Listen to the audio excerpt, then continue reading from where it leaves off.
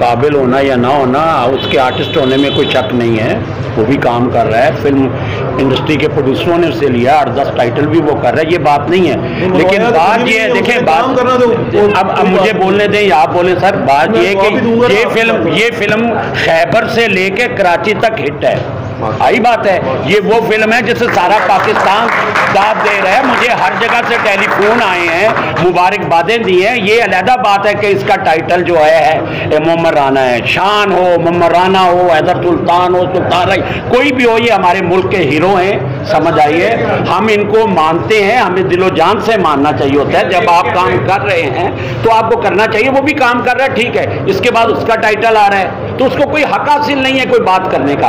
और हम जो फ़िल्म में काम करते हैं, हमारा रिस्क यहाँ से व्यवस्था है, हमें कोई हक हासिल नहीं है। फ़िल्म नरम जाए या गर्म जाए, हमें कोई हक हासिल नहीं कि हम कहें कि ये फ़िल्म फ्लॉप हो गई है। आप कौन हो कहने वाले कि ये फ़िल्म फ्लॉप होगी सारी दुनिया फ़िल्म को देख रही है। और मैं कहता हूँ, ये मेरे दो प्रोड्यूसर जो तीन साल बाद जिनकी फ़िल्में लगी हैं सफदर मलिक साहब और गोगा पहलवान हम इन्हें सल्यूट करते हैं मैं खड़ा होकर इन्हें सल्यूट और भाई हमारे हज़ारों सैकड़ों जो वर्कर थे जो भीख मांगने पे तैयार है हमें पाँच पाँच हज़ार रुपया गवर्नमेंट दे रही है जो हम उनको लेके दे रहे हैं। ये उससे बेहतर नहीं कि ये आए उन्होंने उनके लिए रिस्क प्रोवाइड किया फ़िल्में बनी। और कदर करो इन लोगों की अगर इन लोगों की कदर नहीं करोगे तो फिर बैठे रहोगे और ये फ़िल्म इंडस्ट्री खत्म हो जाएगी।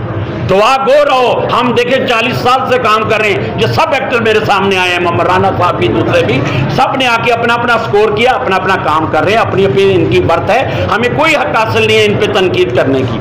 अगर तनकीद करनी है किसी ने तो ऑडियंस करे इन पे कि मोहम्मद राना अच्छा आर्टिस्ट नहीं है या मोहम्मद राना अच्छा आर्टिस्ट है। अभी बात हुई है सबने ताड़ी मारी है कि मोहम्मद राना साहब अच्छे आर्टिस्ट हैं। उनकी पहली फ़िल्म सैयद नूर साहब के साथ सुपर हिट है, दूसरी, तीसरी, फिर चूड़ियाँ जैसी फ़िल्म उसके क्रेडिट में है। तो उसके आर्टिस्ट होने में कोई शक नहीं है। हम खुद दिलो जान से अपने हीरो को मानते हैं। लेकिन हैदर साहब, क्योंकि सुल्तान राय साहब के साहबजादे हैं, उन्हें एक प्लेटफॉर्म मिला। वो तीस साल से हमारे साथ काम कर रहे हैं। उनका नहीं बनता था। वो यहाँ दो वो दो दिन आए, तीन दिन आए।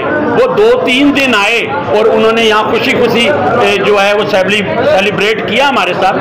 पता नहीं क्या हुआ उन्होंने क्यों बात की? और इस डायरेक्टर के तो ये तो पाकिस्तान का बेताज बादशाह डायरेक्टर है पंजाबी फ़िल्म का और कमर्शियल फ़िल्म का। इनसे पहले हैदर चौधरी साहब कमर्शियल फ़िल्म बनाते थे गानों पर तवज्जो देते थे। उसके बाद ये है जिसने हर मैदान में जिसकी चार चार चार दफ़ा दो दो, दो फ़िल्में लगी हैं चार दफ़ा इन्हीं सिनेमाओं पे सख्त कंपटीशन में। और पाकिस्तान के सुपरस्टार इसकी फ़िल्म का हिस्सा हुए। ये तो कंप्रोमाइजिंग डायरेक्टर है ही नहीं। प्रोड्यूसर नाचना शुरू कर दे, पीटे, लेकिन इसने जो करना है, इसने फ़िल्म बनानी होती है। ये हमेशा अपनी मनवाता है और फ़िल्म को मार्केट में सुपर हिट करवाता है। तीन साल बाद सिनेमा इंडस्ट्री खुली है, इसने फिर फ़िल्म हिट करवाई है यहाँ। हर मैं स्टूडियो गया कल, सबने मुझे मुबारकबाद दी है। कराची वालों ने भी मुबारकबाद दी। जिसको जहाँ से पता लगा फ़ोन है उन्होंने कहा, लाहौर पहले दिन जो मैंने रिपोर्ट लिए उन्हें कहा, जी, आवाम सिर्फ़ गोगा लाहौरिया देखना है। ये पहले ठीक है तो सच बोले सच बोलने में क्या गुनाह है?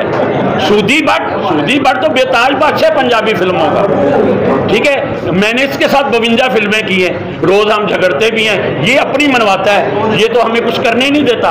आज भी हमें चालीस साल हो गए काम करें। इंज बोलने सिखा इतने पौध है। तो ये वो डायरेक्टर है। तो सब लोग काम कर रहे हैं। हमें चाहिए कि अल्लाह अल्लाह करें और खुश हों कि यार, तीन साल बाद सिनेमा इंडस्ट्री खुली है। लोग हमें देखने आ रहे हैं। और हमें अपना नहीं, अपने वर्कर्स का ख्याल करें। अपने टेक्नीशियंस का ख्याल करें। जिन्होंने दुकानें लगा ली हैं, कोई सब्ज़ी बेच रहा है, कोई अपना वाइट वॉश कर रहा है, कोई रक्षा चला रहा है। यार, वो भी इंडस्ट्री का हिस्सा है, वो भी चालीस चालीस साल से इनका हिस्सा है।